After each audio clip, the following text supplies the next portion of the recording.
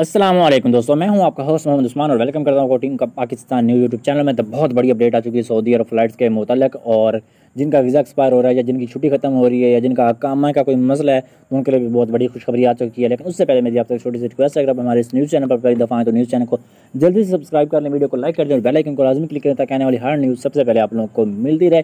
تو سعودی عرب نے آفیشلی طور پر اعلان کر دیا ہے کہ ہم ستارہ مئی کو انٹرنیشنل فلائٹس بحال کر رہے ہیں، لیکن اس کے بعد کچھ ایسے ممالک شامل کیے گئے جن کے لیے فلائٹس بحال نہیں کی جا رہی تھی، لیکن کچھ ایسے ممالک تھے جن کے لیے فلائٹس بحال کی جانی تھی اور اس میں لسٹ میں پاکستان کا نام بھی شامل تھا، تو فائنلی فائنلی ایک اچھی خبر مل گئی ہے۔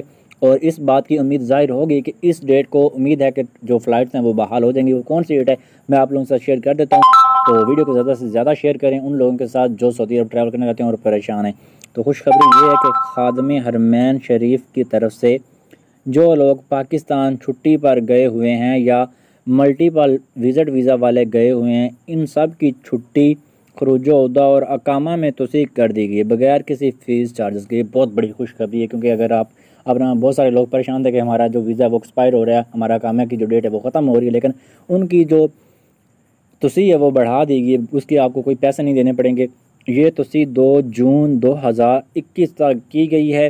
اس کا مطلب یہ ہے کہ دو جون کو یا دو جون سے پہلے فلائٹس بحال کر دی جائیں گی، ٹھیک ہے؟